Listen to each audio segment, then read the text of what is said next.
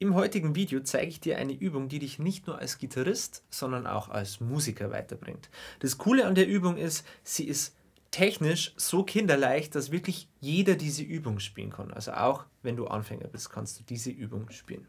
Los geht's. Für die Übung brauchen wir einen durchgehenden Bass. Ich nehme jetzt in diesem Fall die A-Seite. Warum erkläre ich dann später. Und diesen Bass spiele ich jetzt immer durch. Also quasi immer die leere A-Seite. Upsala. So, und jetzt nehme ich mal die G-Seite und spiele sie im sechsten Bund. Da kann ich jetzt den Mittelfinger dafür hernehmen. So, und jetzt höre ich mal genau hin, wie das klingt und versuche diesen Ton nachzusingen. Dun geht jetzt hier nicht darum, dass man wahnsinnig schön singt, sondern einfach nur, dass man sich den Da-Ton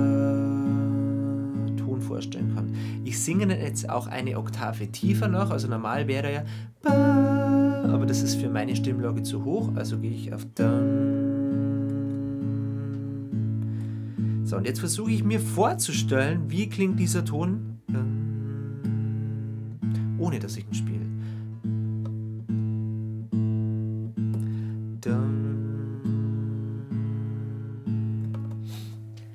Dieser Ton heißt Cis.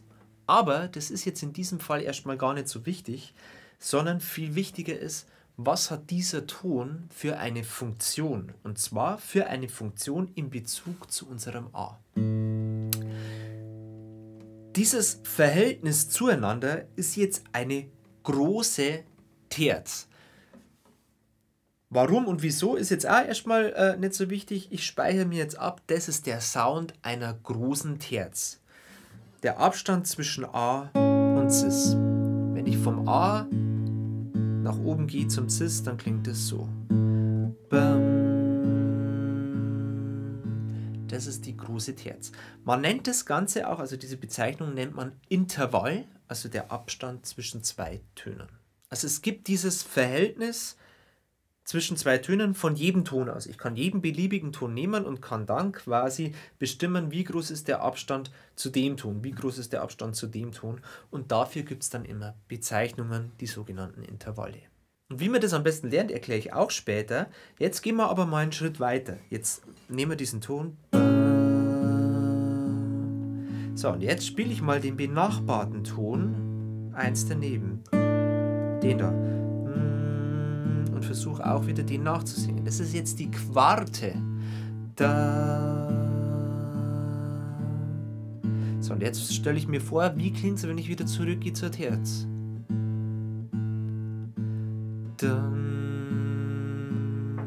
Das war der da. Und zur Quarte. Da. Und wieder zur Terz. Da, da.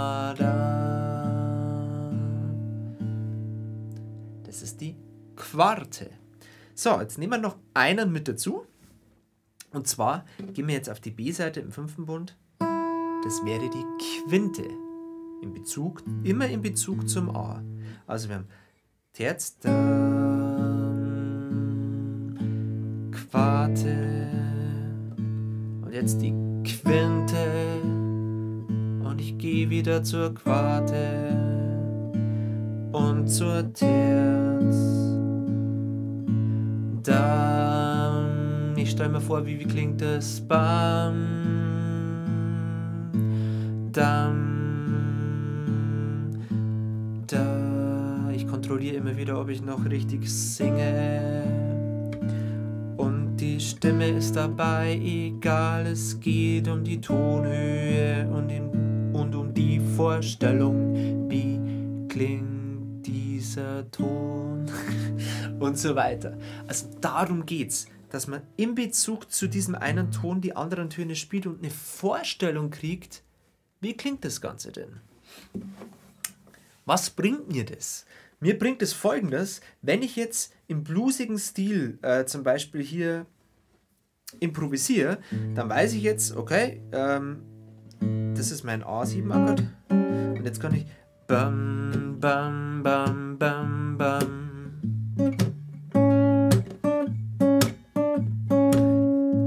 Auf die Quinte. Ba da da da. Ich kann Melodien im Kopf erfinden. Da da da da. Da da da da da da da da. Darum geht's. Und es geht auch nicht darum, dass man da der absolute Pro wird, sondern dass man einfach so ein Gefühl dafür entwickelt, wie wird es jetzt klingen, wenn ich den Ton spiele. Das ist wahnsinnig wichtig beim Improvisieren und so weiter. So, jetzt gehen wir aber noch einen Schritt weiter, beziehungsweise wir versuchen das Ganze mal festzuhalten. Und zwar würde ich dir empfehlen, das Ganze aufzuschreiben. Ich nutze jetzt hier gerade eine Vorlage, äh, nehme ich das auf? Ja, passt, nehme ich auf. Diese Vorlage gibt es kostenlos auf meiner Lernplattform. Ähm, da kann man sich einen Account anlegen mit E-Mail-Adresse und Namen und dann kann man zum einen auf die Tabulaturen zu meinen YouTube-Videos, wenn es welche gibt, zugreifen und auch auf so ein Vorlagenpaket und unter anderem ist diese Vorlage da auch mit drin. So, ich mache jetzt mal folgendes. Ich zeichne jetzt mal ganz kurz die Töne hier ein, die wir gespielt haben. Das war der erste. Das ist die G-Seite, hier ist die B-Seite, hier ist die E-Seite, hier ist die D-Seite, A-Seite und die tiefe E-Seite. So, hier male ich diesen Bubbel rein, das war der Ton hier, den wir gespielt haben. Also wichtig, ganz unten ist die tiefe Seite. Das ist die tiefe E-Seite hier unten. Na, jetzt geht mein, mein Laser nicht. Schade. Mein Laserpointer. Schauen wir mal, ob er jetzt kommt. Ja, jetzt geht er wieder. Also hier ist die tiefe E-Seite und hier ist die hohe E-Seite. Das heißt, die tiefe ist da. Und dann haben wir hier den Ton. Dann hat man hier die Quarte, die wir gespielt haben, und hier die Quinte. Und als leere die leere A-Seite haben wir immer mit reingespielt. So, ich lösche das Ganze aber jetzt nochmal raus und zwar aus dem Grund. Aus folgendem Grund. Ich gehe jetzt mal hierher und mache mal den da. Zack. So richtig schön hässlich gezeichnet. Den, den und den. So, dieses Akkordbild, es ist jetzt ein A-Dur, ich könnte jetzt auch A-Moll, also ohne den Mittelfinger nehmen, aber dieses, es ist ein Bild, ein E-Bild. Hier sieht man den E-Dur-Akkord, als würde ich den E-Dur-Akkord mit Capo greifen. Das ist jetzt hier mein, mein bildlicher Anker. Das stelle ich mir vor. Und was ich vorher gespielt habe, der Ton da, no, der Ton hier, da, das ist die Terz. Ja, ich greife nicht den ganzen Akkord, aber ich habe dieses Akkordbild drin.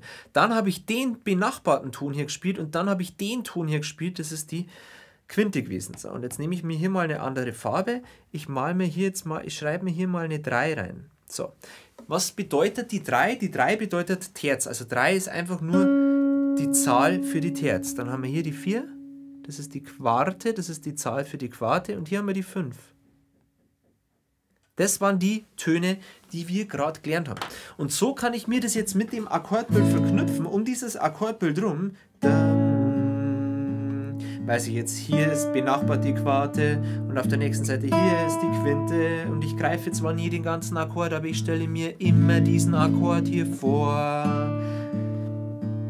So, natürlich könnte ich jetzt auch hier benachbart andere Töne nehmen. Was zum Beispiel immer super ist, ist der da. Das ist die 1. Das ist der Grundton. Das ist auch wieder ein A.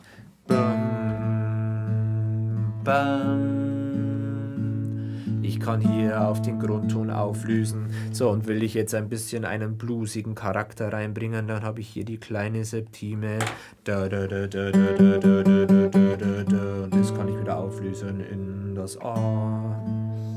Also ich weiß jetzt, die kleine Septime klingt so. Und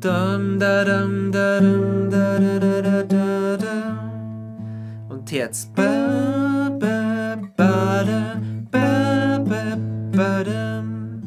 Jetzt kann ich anfangen, hier wirklich Melodien zu machen. Was auch cool ist, ich habe hier die kleine Terz, schreibt man B3.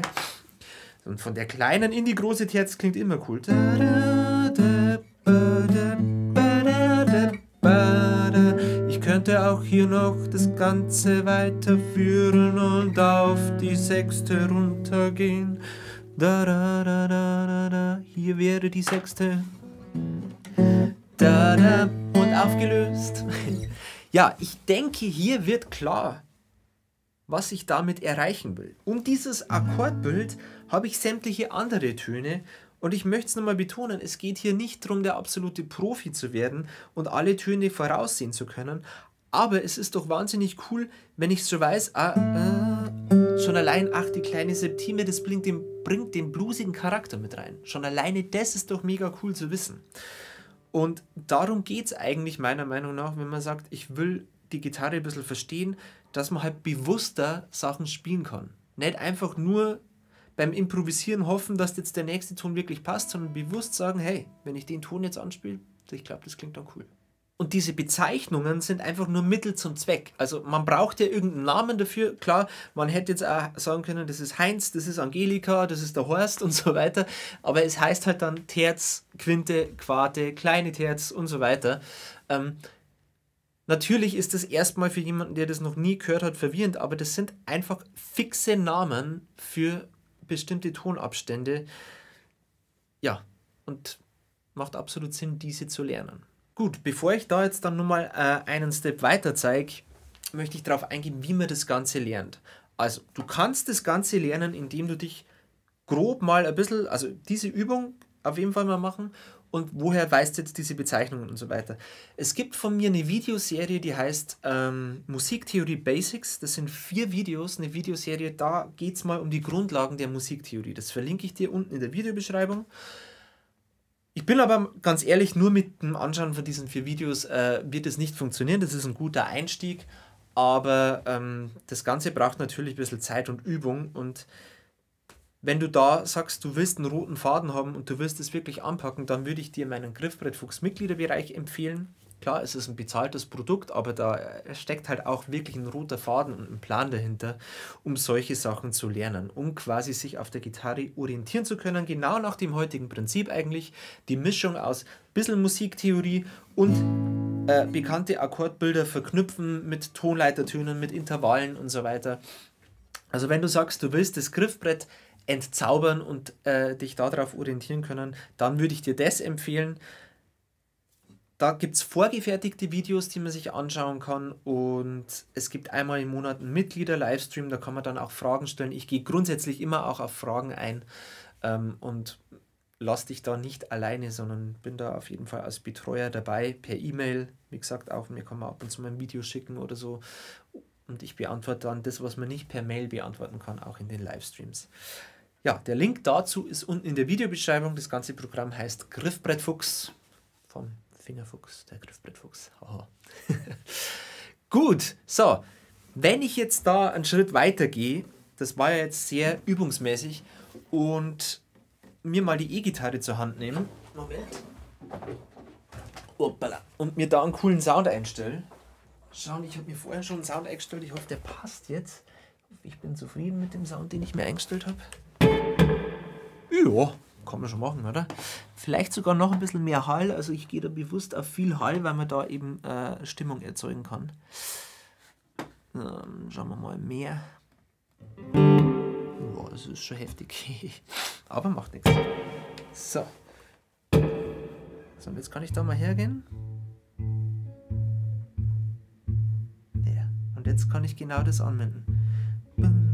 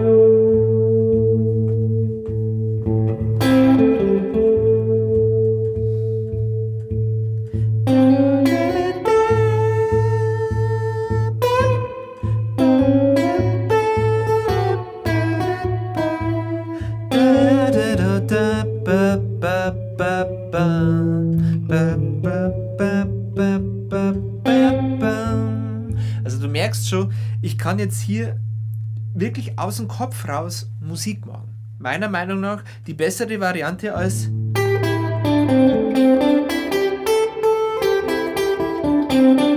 versuchen hier die Pentatonik rauf und runter zu spielen. Nö, gezielt die Töne anspielen, wo ich weiß, die machen die und die Stimmung. Es wird ja auch Töne geben, die noch viel krasser sind. Zum Beispiel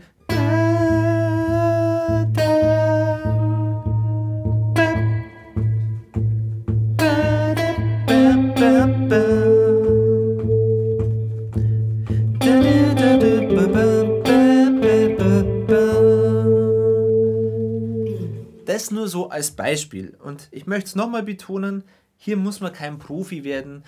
Da erzielt man relativ schnell Erfolge, wenn man einfach versucht, die Sachen nachzusingen und die Musik im Kopf entstehen zu lassen. Das ist natürlich auch wahnsinnig wichtig fürs Improvisieren, um eigene Licks zu generieren. Gut. So ein ähnliches Video habe ich schon mal vor kurzem mit der E-Gitarre erstellt.